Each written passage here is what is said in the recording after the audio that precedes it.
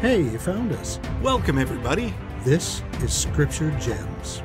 Hello, and welcome to the show. My name is John Fullmer, and this is my brother Jay. How's it going, John? We are two brothers who just can't get enough of the Scriptures. Yeah, we love them. This episode, we are going over the Come Follow Me lesson for August 22nd through 28, 2022. This is covering Psalms 102 through 103, 110, 116 through 119, 127 through 128, 135 through 139, and 146 through 150. In other words, the rest of the Psalms. and now, let's bring out the star of the show, the Scriptures. Oh, musical scriptures. It's so great to have them. And now let's consult the Scripturematic 6000 to find out how long it will take to read this week's reading. 53 minutes, 39 seconds. It's one of our longer readings, but what would it be daily? 7 minutes, 39 seconds. Yeah, you can do it. And if you're feeling ambitious, if you want to read Psalms 102 through 150, it will take you 1 hour, 50 minutes, 20 seconds. Or daily, for 7 days, it will take you 15 minutes, 45 seconds. Still so doable. Here we've got time codes. Again, because the Psalms are not in necessarily a sequential narrative, they're grouped together in ways that can just help you get from section to section in the episode. So wherever you want to go, just click on the time code. And for those of you who have inquired about prints of my art that I use in the show, check out 43rdstreet.com. The link is in the video description. So here we are in our last lesson on the Psalms. Psalms 103 through 106 summarize God's dealings with his people before any kings reigned. The standard Hebrew text of the Psalms divides them into five books. We talked about that in our first episode on Psalms. It's perhaps an imitation of the five books of Moses. The psalm that ends the book finishes with an expression of praise, otherwise known as a doxology. So, book four ends with Psalm 106 and then the last couple of verses, 47 and 48. Let's read those. 47. Save us, O Lord our God, and gather us from among the heathen, to give thanks unto thy holy name, and to triumph in thy praise. Blessed be the Lord God of Israel from everlasting to everlasting. And let all the people say, Amen. Praise ye the Lord. Book 5 of the Psalms, which is 107 through 150, reflects the closing petition of the previous collection, like we read in verse 47 of 106. It declares that God does answer prayer, like we see in Psalm 107. And the book concludes with five Hallelujah Psalms, 146 through 150. In between, there are several psalms affirming the validity of the promises to David. Psalms 110, 132, 144, two collections of Davidic psalms 108 through 110, 138 through 145, the longest psalm celebrating the value of the law of God, Psalm 119, where we will spend most of our time today, and 15 psalms of ascent for use by pilgrims to Jerusalem, Psalms 120 through 134. And if it seems strange to you that the Psalms are organized in this way, take a look at our own hymn book. If you didn't know this already, in the U.S. hymn book, the hymns are clearly organized into various sections. You'll find, for example, sections of hymns on Easter, sacrament, Christmas, and even a patriotic section at the end. Right. Now, as we've pointed out, there's too much content in each of these Psalms to cover them all here, but we would like to choose a few favorite parts to explore together. So, even though this one is not on our reading list for this week, let me talk about Psalm 107. It's a call for the community to come together and give thanks for the enduring and steadfast love shown to them by God. Let's start in verse 1. Oh, give thanks unto the Lord, for he is good, for his mercy endureth forever. Let the redeemed of the Lord say so, whom he hath redeemed from the hand of the enemy, and gathered them out of the lands from the east, and from the west, and from the north, and from the south. And then it reminds us of four accounts of people in distress and how God delivered them. Let's take a look at the first one in verse 4.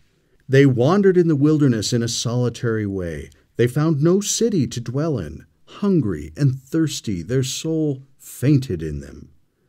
But how could they be delivered? Let's take a look at verse 6. Then they cried unto the Lord in their trouble, and he delivered them out of their distress. And he led them forth by the right way, that they might go to a city of habitation. Oh, that men would praise the Lord for his goodness, and for his wonderful works to the children of men. For he satisfieth the longing soul, and filleth the hungry soul with goodness. This is so great. You're going to find this pattern may be very useful as it hits these four accounts. We find out what the distress is and how God delivered them. But in each case, Notice that they cried unto the Lord, like it says in verse 6, and then they were delivered. But as you read these, consider, like in verses 4 and 5, have you ever found yourself wandering in a wilderness, in a solitary way, with no place that you feel like you fit in, hungry and thirsty, spiritually, socially? And look at the delivery and the praise. Let's go on with the next one in verse 10 such as sit in darkness and in the shadow of death, being bound in affliction and iron, because they rebelled against the words of God, and contemned the counsel of the Most High. Therefore he brought down their heart with labor. They fell down, and there was none to help. But how could they be delivered? Verse 13 tells us. Then they cried unto the Lord in their trouble, and he saved them out of their distresses. He brought them out of darkness and the shadow of death, and brake their bands in sunder. Oh, that men would praise the Lord for his goodness and for his wonderful works to the children of men. And that brings us to the third account, starting in verse 17. Fools, because of their transgression and because of their iniquities, are afflicted. Again, how could they be delivered? Skipping to verse 19. Then they cry unto the Lord in their trouble, and he saveth them out of their distresses. He sent his word and healed them, and delivered them from their destructions. Oh, that men would praise the Lord for his goodness, and for his wonderful works to the children of men. That's so beautiful. Did you notice in these last two that these are afflictions people brought upon themselves? They are the ones that caused their own problems because they, like in verse 11, rebelled against the words of God, or in verse 17, transgression, iniquities. But one of the things this psalm reminds us of is that God is merciful even to those who rebel against him when they call upon the Lord. So beautiful. Let's look at the last account in verse 23. They that go down to the sea in ships, that do business in great waters. Skipping to verse 27. They reel to and fro and stagger like a drunken man, and are at their wits' end. But verse 28 tells us how they could be delivered. Then they cry unto the Lord in their trouble, and he bringeth them out of their distresses. He maketh the storm a calm, so that the waves thereof are still. Then are they glad because they be quiet so he bringeth them unto their desired haven. Oh, that men would praise the Lord for his goodness and for his wonderful works to the children of men. I wonder, have we found ourselves in a situation where the Lord has made the storm a calm, where he has made the ruckus in our life be quiet and brought us to our desired haven? If so, I think we can relate to the praise that's being heaped upon the Lord for his great goodness to each of us. Those are some of the things that I love in Psalm 107. Yeah, I hope it wasn't lost on you that the wisdom of the ages that is repeated throughout this psalm is Oh, that men would praise the Lord for his goodness and for his wonderful works to the children of men. Amen. That's the takeaway. Yeah. So let's move on to Psalm 110. This psalm is particularly interesting in context of the New Testament, and let's pay attention to a few verses, starting in verse 1. The Lord said unto my Lord, Sit thou at my right hand until I make thine enemies thy footstool. And we'll reference this one again next year when we study the New Testament. Jesus quotes it as recorded in Mark and Luke. Here's the reference in Mark chapter 12, verse 35 through 37. Verse 35 And Jesus answered and said while he taught in the temple, How say the scribes that Christ is the son of David? For David himself said by the Holy Ghost, The Lord said to my Lord, Sit thou on my right hand till I make thine enemies thy footstool. David therefore himself calleth him Lord, and whence is he then his son? And the common people heard him gladly. So, clarification from Scripture, and specifically the Psalms. Jesus was quoting the first verse of Psalm 110. Now, similarly, take a look at Psalm 110, verse 4. The Lord hath sworn and will not repent. Thou art a priest forever after the order of Melchizedek. Now, later, Paul explains that Christ is the high priest after the order of Melchizedek. Take a look at Hebrews chapter 5 verse 5. So also Christ glorified not himself to be made an high priest, but he that said unto him, Thou art my son, today have I begotten thee. As he saith also in another place, Thou art a priest forever after the order of Melchizedek. This another place is Psalms, specifically this Psalm 110. That's very cool. It's kind of neat. And while we're looking at messianic psalms, let's take a look at Psalm 118. Specifically, pay attention to verses 22 through 23. Do these verses sound familiar? Verse 22 The stone which the builders refused is become the headstone of the corner. This is the Lord's doing. It is marvelous in our eyes. If that sounds familiar, maybe you remember reading that in our study of the New Testament a few years ago. Let's look at the Savior's reference to these verses in Matthew chapter 21, verses 42 through 44, starting in 42. Jesus saith unto them, Did ye never read in the Scriptures, the stone which the builders rejected, the same is become the head of the corner?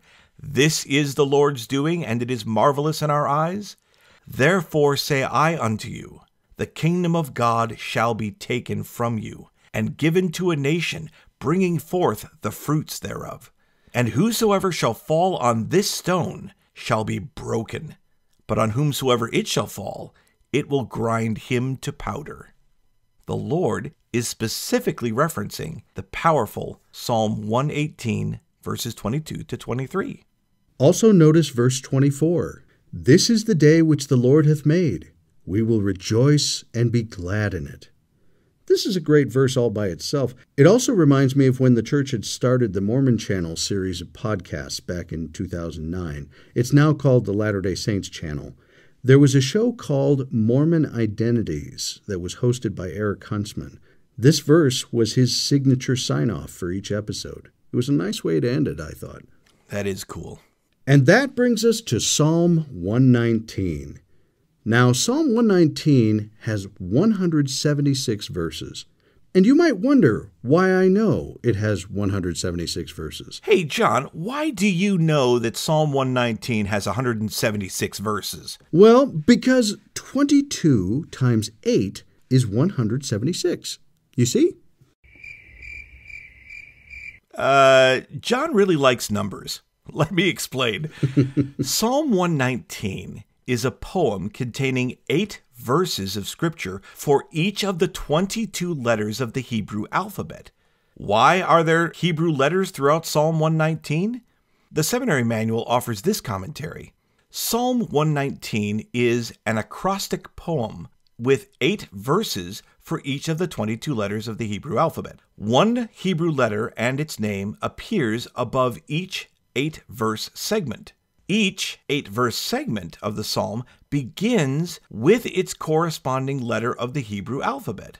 I find this absolutely fascinating. Each verse in the group of eight starts with the letter of its group.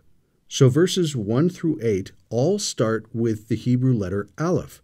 Verses 9 through 16 start with the Hebrew letter Beth, and so on. We don't notice this as easily because we're reading it in English.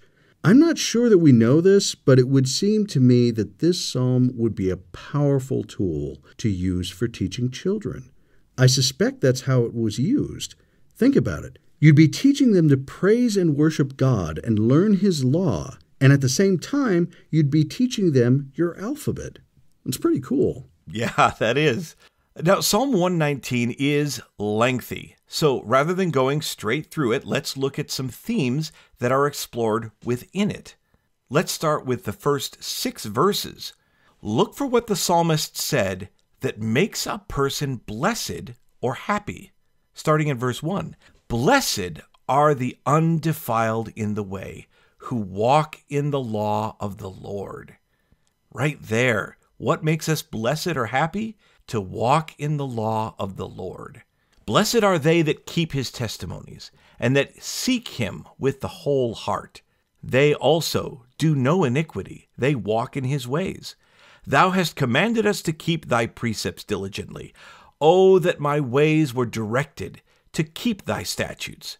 Then shall I not be ashamed, when I have respect unto all thy commandments. The writer of Psalm 119 used symbols to describe his love for the Word of God and the blessings that can come through diligently studying and obeying his words. Let's look at the various symbols. Let's jump ahead to verse 14. I have rejoiced in the way of thy testimonies as much as in all riches. So, the idea of the Word of God or the way of his testimonies is like great riches. Verse 72 The law of thy mouth is better unto me than thousands of gold and silver. Verse 127 Therefore I love thy commandments above gold, yea, above fine gold. And in verse 24, thy testimonies also are my delight and my counselors. Why might that be an interesting connection? It's nice to think of the Word of God as a treasure for the value that it has for us, and especially a lasting value. But in verse 24, it talks about that his testimonies, his words, are his delight and his counselors. How has the Word of God been a delight for you? How has it been a counselor for you? Let's also take a look in verse 35. Make me to go in the path of thy commandments, for therein do I delight. How has the Lord's commandments or words been a path for you? Perhaps a covenant path, in the words of President Nelson. Yeah. In verse 54, thy statutes have been my songs in the house of my pilgrimage. How has the word of God or his commandments been like a song for you? Verse 103 How sweet are thy words unto my taste, yea, sweeter than honey to my mouth. How have the words of God been delicious to you, sweet to you? And this one in verse 105 might be my favorite. Thy word is a lamp unto my feet and a light unto my path. Notice here how the word gives light to our feet now, we don't see with our feet. I always thought that was kind of funny. Feet, here's some light. They don't care. Why did it not say, Thy word is a lamp to my eyes? We may see with our eyes, but the word guides our actions and is represented by feet on the path. So I really love that one. Let's look at a few more verses, and in them look for what the psalmist did with the word of God. Like in verse 11, Thy word have I hid in mine heart that I might not sin against thee. Think for a minute about what that means to us personally. What does it mean to hide the word in your heart to keep you from sinning against the Lord? Have there been things that you have learned or known with your head, but it took you a while to get them into your heart, hidden away and treasured? Verse 15 I will meditate in thy precepts and have respect unto thy ways. This reminds us that it's more than just hearing or even knowing, but meditating. In verse 16, I will delight myself in thy statutes. I will not forget thy word. What do you do in your life that helps to make sure that you don't forget the word of the Lord? Hopefully, Come Follow Me has been a part of that. What delightful comments and insights and testimonies all expressing and celebrating the value of God's law in the lives of his people. Now, we know that Psalm 119 is long. Again, 176 verses. But I hope you took the time, and I hope you can appreciate how it was structured and what it was meant to teach. And if nothing else, I hope you're a little more comfortable with the Hebrew alphabet. it's a pretty good tool. Nice. Let's take it now to Psalm 127. Let's start in verse 1. Except the Lord build the house, they labor in vain that build it. Except the Lord keep the city, the watchman waketh, but in vain. It is vain for you to rise up early, to sit up late, to eat the bread of sorrows, for so he giveth his beloved sleep. Lo, children are an heritage of the Lord, and the fruit of the womb is his reward. As arrows are in the hand of a mighty man, so are children of the youth. Happy is the man that hath his quiver full of them. They shall not be ashamed, but they shall speak with the enemies in the gate. That's such a great image. Happy is the man that hath his quiver full of them. You might recognize that children are an heritage of the Lord is a phrase that found its way into the family, a proclamation to the world. It's quoting Psalm 127, verse 3. Yeah, I agree. It's a wonderful image.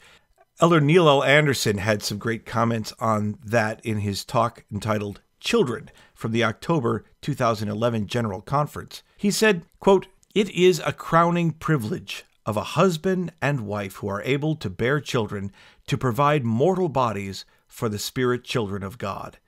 We believe in families, and we believe in children. When a child is born to a husband and wife, they are fulfilling part of our Heavenly Father's plan to bring children to earth.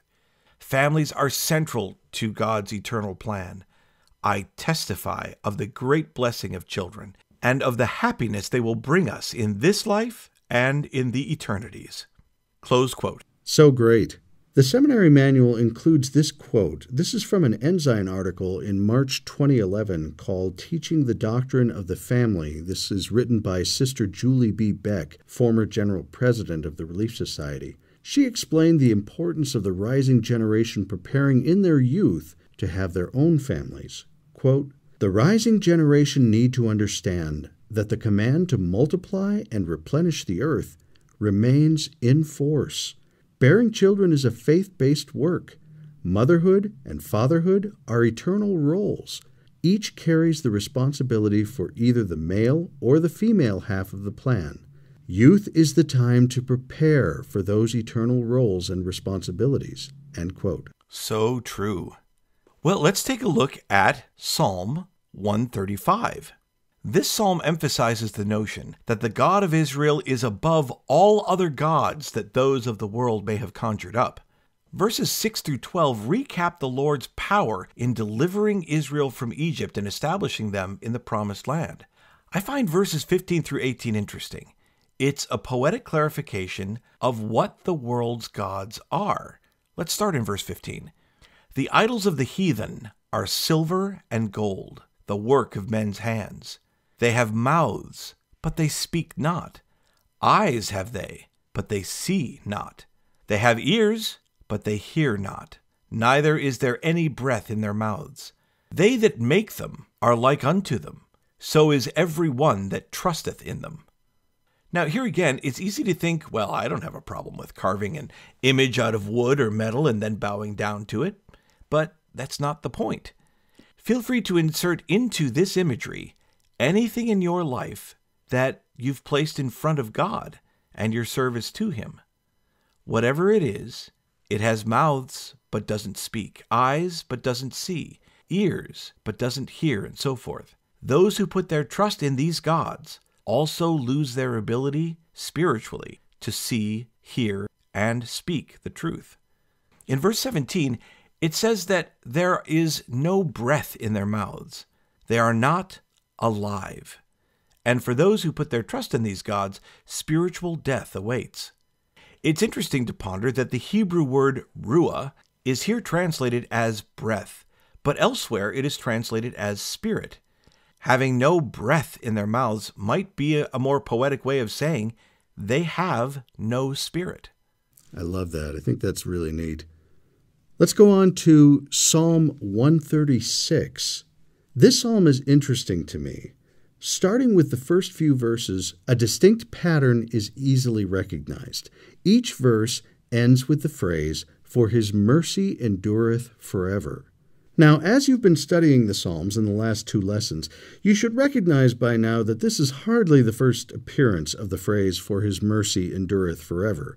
I mean, for instance, we started the lesson reading Psalm 107, and that starts with that phrase.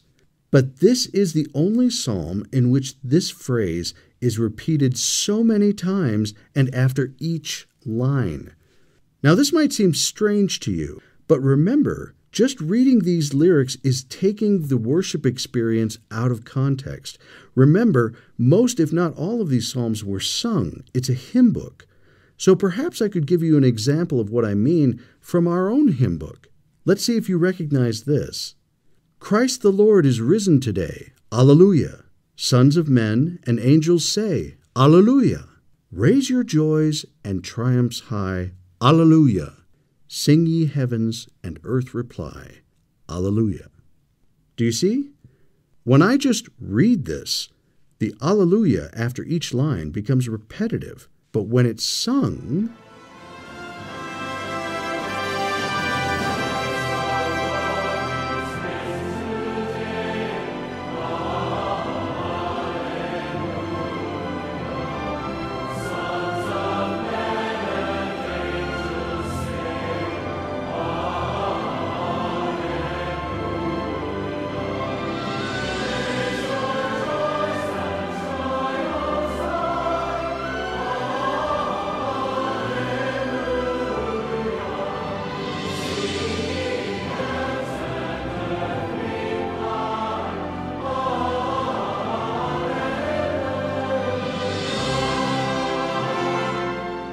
It's a different experience, right?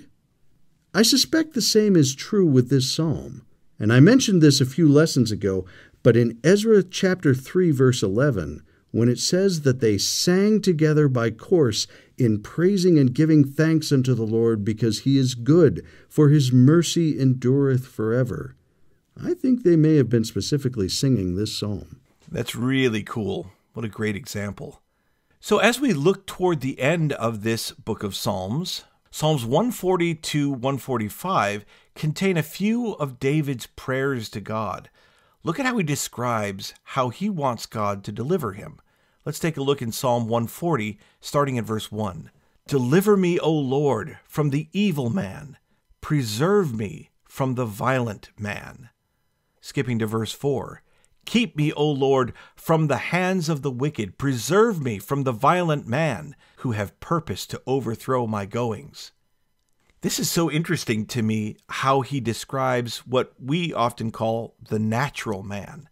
Here he seems to be referring to him as the violent man. In other words, our worst self. Deliver me, O Lord, from my worst self, the evil man. Preserve me from my worst self, the violent man. What a wonderful way to be self aware of your own weaknesses, especially natural man weaknesses, and knowing that God can overthrow, deliver, preserve us from that person and emphasize our divinity, our divine nature. And I also find it interesting in verse 4 that he clearly defines what the purpose of the natural man is to overthrow my goings Remember how we talked before about how the Word of God is like a light to our feet so that we can walk the path. That's our goings. The natural man purposes to overthrow those goings. Let's take a look at some more examples in Psalm 143, starting in verse 8. Cause me to hear thy loving kindness in the morning, for in thee do I trust. Cause me to know the way wherein I should walk, for I lift up my soul unto thee. Deliver me, O Lord, from mine enemies. I flee unto thee to hide me. Teach me to do thy will, for thou art my God. Thy spirit is good. Lead me into the land of uprightness. I know these aren't in our readings, but I find great comfort in these words. Well, let's do one more for today. Let's do Psalm 150. As it is the last psalm in our book, perhaps we could simply share the words themselves. Starting in Psalm 150, verse 1 Praise ye the Lord. Again, whenever you see that phrase, it's the Hebrew word hallelujah. Praise God in his sanctuary. Praise him in the firmament of his power. Praise him for his mighty acts. Praise him according to his excellent greatness. Praise him with the sound of the trumpet. Praise him with the psaltery and harp. Praise him with the timbrel and dance. Praise him with stringed instruments and organs. Now, check the footnote. The Hebrew word is referring to a pipe or a flute, not an organ as we would think of it today. And stringed instruments, I always find that funny. It's obviously a Hebrew name for a stringed instrument that we don't really have a name for today. So just uh, stringed instruments, whatever. Lots of instruments. Maybe banjos? Maybe. Verse 5 Praise him upon the loud cymbals. Now remember that this was the instrument of choice for Asaph, David's choir director. Praise him upon the high sounding cymbals. Let everything that hath breath praise the Lord. Praise ye the Lord. Hallelujah indeed. Oh, yes. What a great way to end it. What wonderful prayers are being sung in these Psalms. There are so many gems in the book of Psalms. I hope that in your study you will have found single verses or couplets that may be something that you took the time to memorize and hopefully to share with family and friends. Keep reading your scriptures, and we'll look forward to talking to you more about them in our next lesson. We'll see you then. This podcast is not officially affiliated with The Church of Jesus Christ of Latter day Saints. But we're really big fans.